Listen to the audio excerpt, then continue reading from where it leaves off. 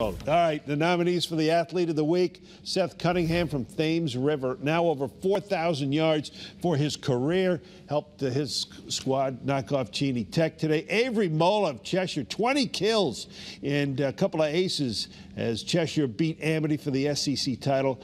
Anam Alasaware, Staples swimming star, new state record in the 100 free, and she was the FCX Swimmer of the Week. Nathan Ryder from Litchfield Soccer, a hat trick of the conference championship they win the Berkshire League over Shepaug Valley. All right, it's going to do it for me.